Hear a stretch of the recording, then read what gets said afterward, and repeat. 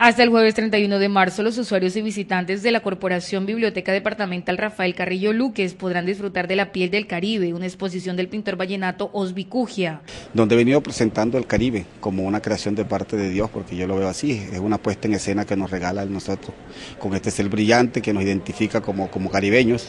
Aparte de que Valledupar no tiene costas, pero tiene ese furor caribeño, esa soltura, ese calor humano.